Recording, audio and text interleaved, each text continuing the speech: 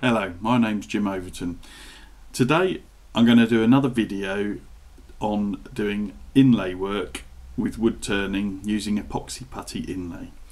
Uh, I'm going to try and show you how to do a design a bit like this. As I said in my last videos, it's not so much about the wood turning, but I want to show you how to create these designs in the edge of the wood. Um, this is done using Milliput epoxy putty and I inlay it into the wood. I'm going to try and do a design very similar to this with a geometric shape and I'm going to do another little mini change bowl like this with a more random design uh, using an idea that I've got in my head that I've not tried yet and we'll see how it turns out. Could be a bit of fun. And the wood I'm going to be using is reclaimed mahogany.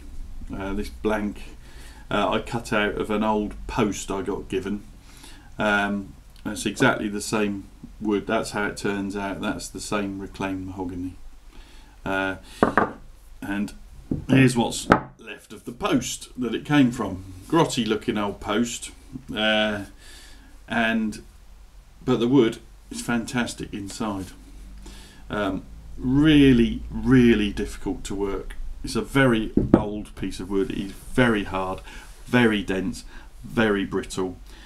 And I've done quite a few bowls out of this post now and they are really difficult to turn. Um, it chips out, creates horrible dust, very difficult to finish, blunts your tools instantly, constantly resharpening tools, and great big lumps suddenly will just split out for no reason. Uh, because there's probably a few inter- well internal checks in the wood.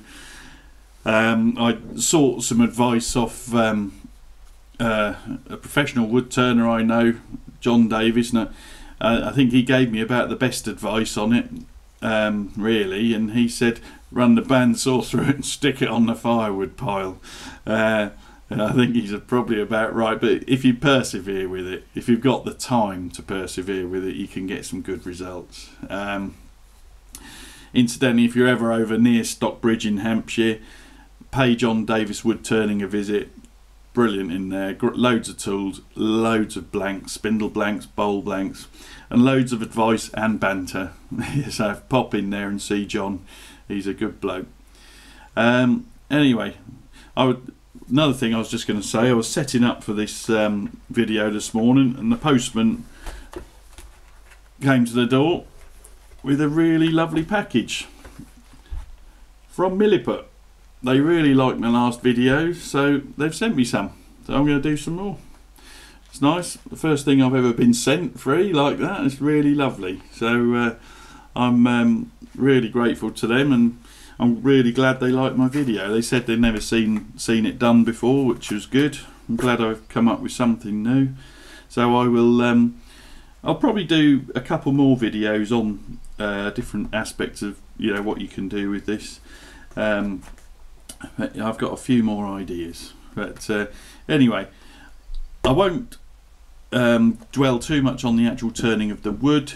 Um, and I won't be showing so much about the mixing of the putty uh, or about the characteristics of the putty because I've done all that in my last video, uh, which was a two-part video. So if you need to um, know a bit more about the putty and how you, you handle it, go back to that and have a look. Um, this is more about how we achieve the effects.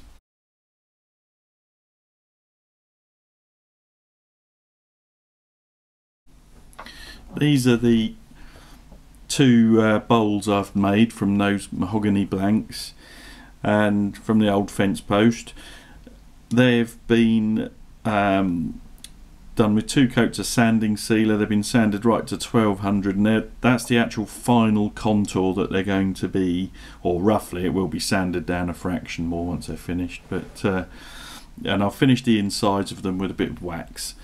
Um, I've done two, virtually identical.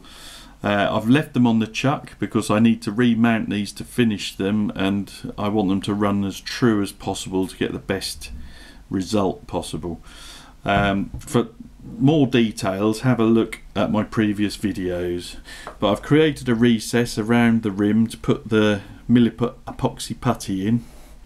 Uh, I've made it slightly deeper in these. This is probably about three three and a half millimeters possibly even four millimeters in places. Made them slightly deeper because I'm doing something different with it this time and I need a slightly greater depth of putty.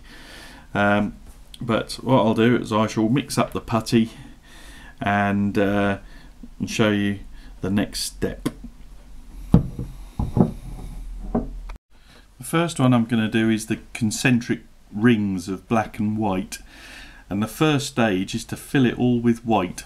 So I'm going to use the white superfine white milliput and uh, two equal lengths of the putty A and putty B. I'm going to mix those thoroughly and put them in all around the recess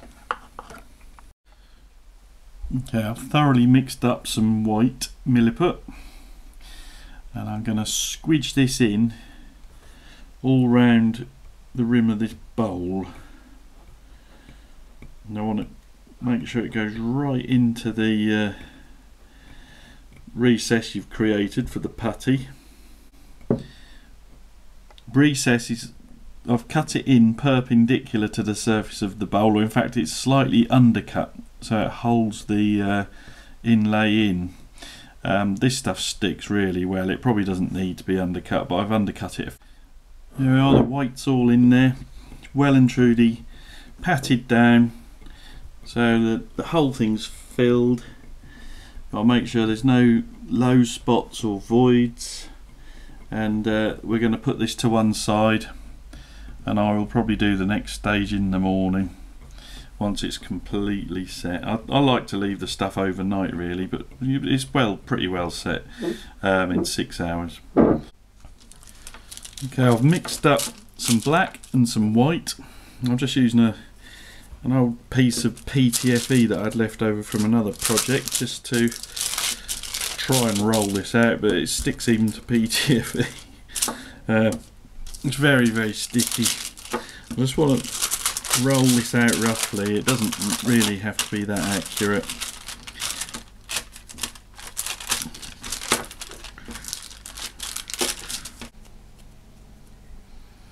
Try and get it as smooth as possible.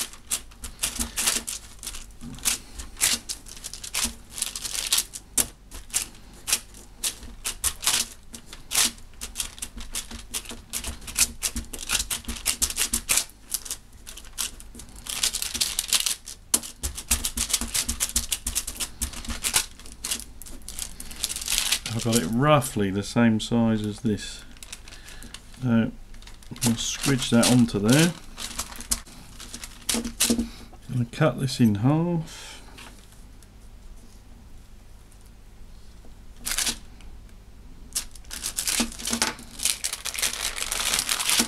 So the first half on top of that.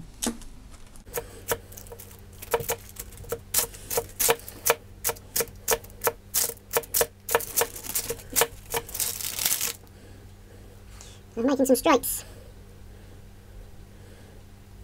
I'm just going to chop the uneven edges off.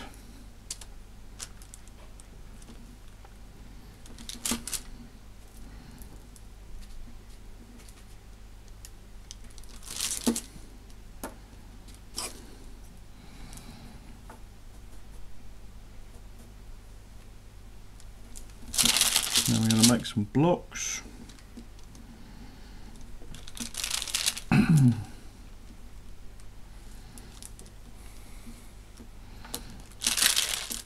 That's it. Put those to one side.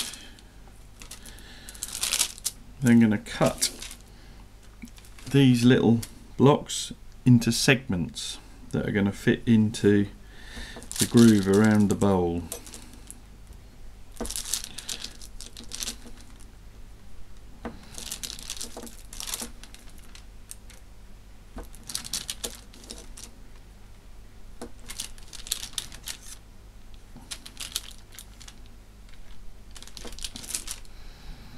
I'm going to lay those in a line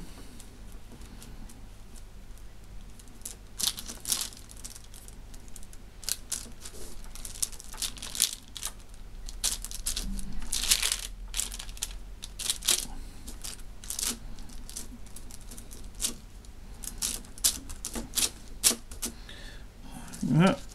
I'm going to do all of these and lay it all out and then we're going to lay it around the bowl. Right, so I've laid out these segments of putty. We're then going to try and lay those into the groove in the bowl. Make sure they uh, all fit round.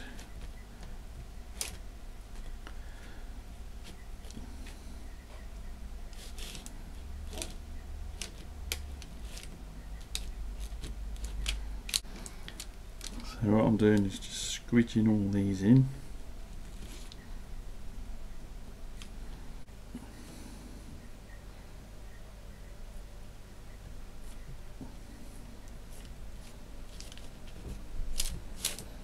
I'm going to squidge all this in.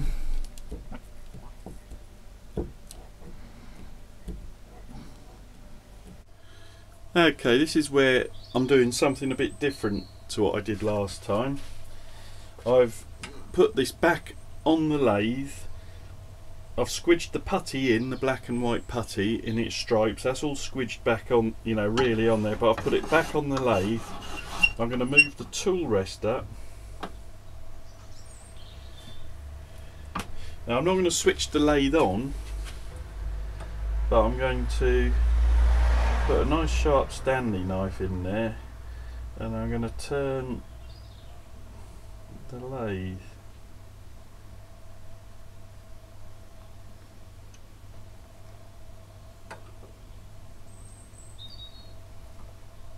see if I can get a sort of a drag pattern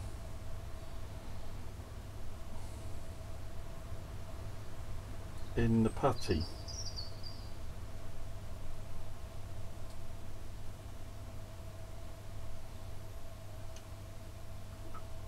It forms a kind of chevron really.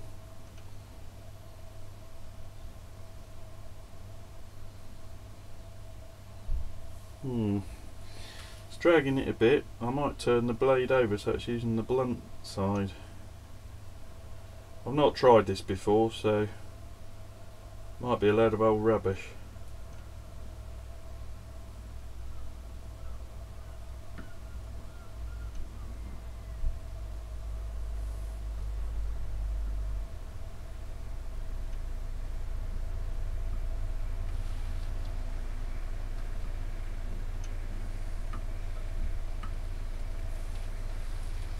Well, it's moved it a bit.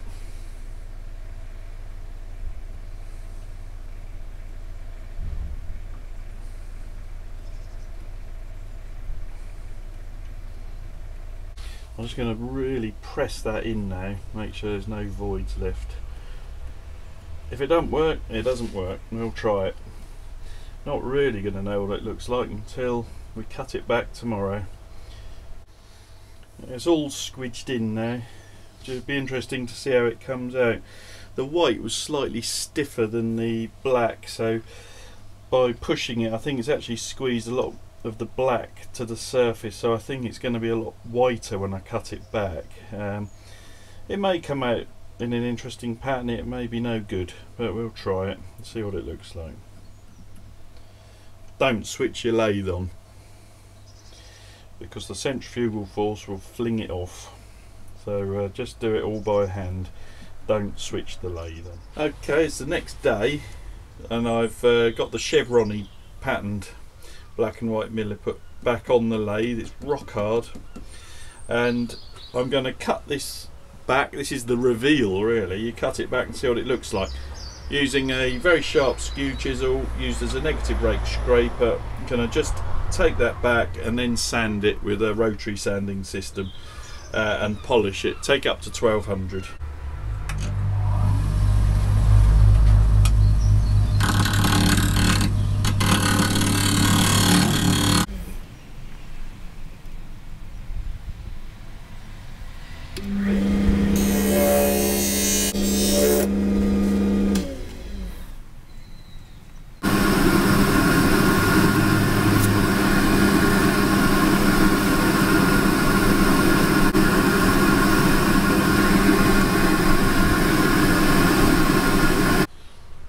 remounted the stripy one and uh, or the one that's going to be stripy. So this is the white milliput It's rock hard now because it's the next day.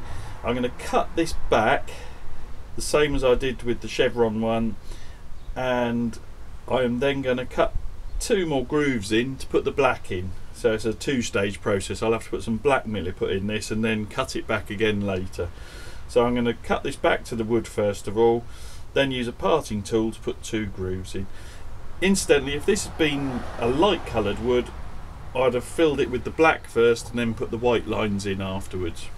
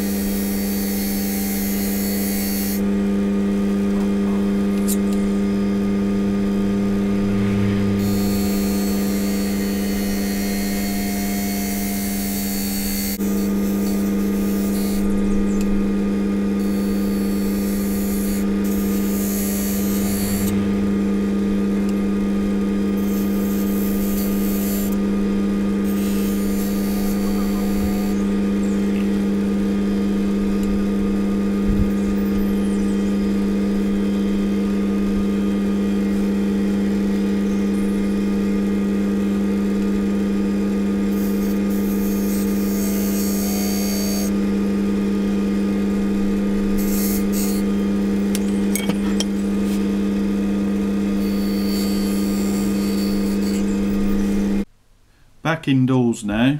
There's a quick peek at the chevron one. Really pleased with that. I'll show you more of that at the end when I've finished the other one. This is going to be the black and white stripe. Quite difficult to show you this on the video because of the light. But if I hold it at an angle like that, I think you can see I've done the two grooves ready for the black.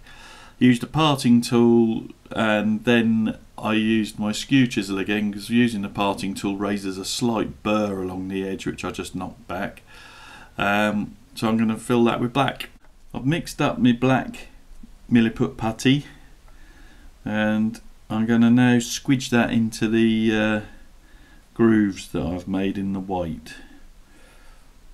Now this, I leave these on the chuck and just so they run true when you remount them on the lathe. This is the most important bit really, doing these concentric lines. Uh, this is the, probably the better one to keep it mounted in the chuck. The others you could get away with it, but with this design, if it doesn't run true when you re-put put it back on the lathe, you will end up with wonky lines, uneven lines. Um, they won't be parallel. Put the black putty into the grooves. It doesn't matter that it's over the edges at all because it's all going to be cut back tomorrow or later today when it's thoroughly set. Um, just make sure you've squashed it well in with no voids. Quick word on what to do with uh, excess bits of milliput if you've got any left over like this. Um, one thing I did yesterday made a new knife thing from a Stanley knife blade, made a little handle for it, so I've got another chopper for chopping up the milliput and bits and pieces. So um, that's one thing you can do. The other thing I do is I uh, roll it up and keep it to use for finials, handles, or even um, pen blanks. Just keep keep it, let it set. Um, so it's really hard. You can do almost anything with it.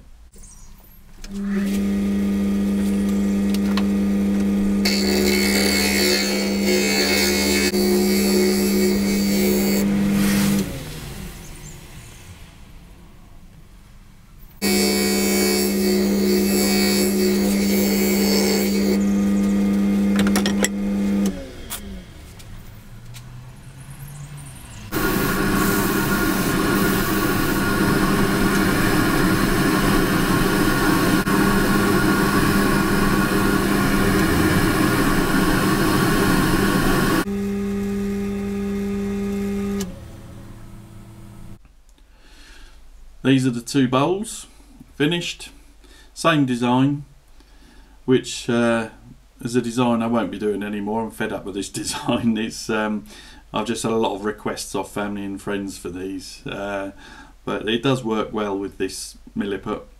Um, there's the concentric rings, uh, come out really nice, good finish on that. Um, you have to keep it really on the chuck or you know really keep it so when you remount it it's running true otherwise you won't get the concentric rings. Um, nice finish on both of them. They've uh, 1200 grit uh, sanding sealer and microcrystalline wax. That's how I finished those. Um, lovely finish on both of them really. Have come up really nicely.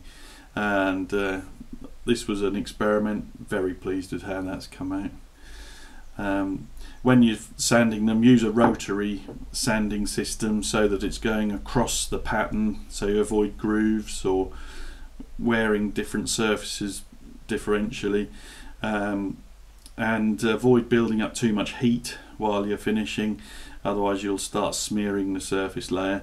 Uh, but uh, other than that that's it really. Um, yeah my next project will be a different shaped bowl or something or other um, thanks very much to Mike Waldt Carl Jacobson for your uh, really good feedback. I do really appreciate it. Um, and Carl it is available in the USA, Milliput. I did check that. Um, Milliput's website is actually really quite informative as well. There's lots of tips and ideas on there. But uh, yeah, very pleased with those, and I'll see you soon for another video yeah, please like and subscribe. Uh, that would be great, and pass on so other people can have a look. Uh, that would be great.